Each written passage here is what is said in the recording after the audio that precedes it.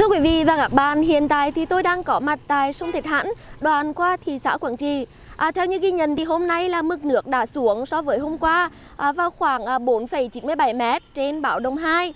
À, theo báo cáo của Ban Chỉ huy phòng chống thiên tai tìm kiếm cứu nạn thị xã thì à, toàn địa bàn có hơn 470 hộ dân bị ngập lụt với à, mức ngập từ 0,5 đến 3 mét. À, trong đó thì có hơn 30 hộ dân sống ở khu vực dọc sông Thạch Hãn với mức ngập sâu từ 1 đến 3 mét. 41 hộ dân ở thôn Như Lệ và thôn Tân Phước bị cô lập, chia cắt do nước ờ, ngập sâu các tuyến đường vào khu dân cư. À, số hộ dân được di rời đến nơi an toàn là hơn 190 hộ. À, ảnh hưởng của mưa bão đã làm cho một kho hàng ở xã Hải Lề bị tốc mái, làm hư hỏng hàng hóa của hộ dân và hiện tại thì chưa có thiệt hại về người do mưa lụt ờ, gây ra.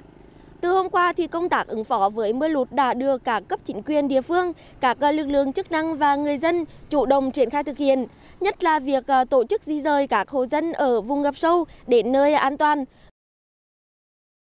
Hiện nay thì ờ, trên thủ nước rút, nhiều hộ dân đã tiến hành dọn dẹp cũng như là khắc phục hậu quả mưa lụt. À, tuy nhiên thì theo dự báo trên địa bàn tỉnh Quảng Trị vẫn có mưa vừa đến mưa to vào khoảng từ 50 đến 120 mm.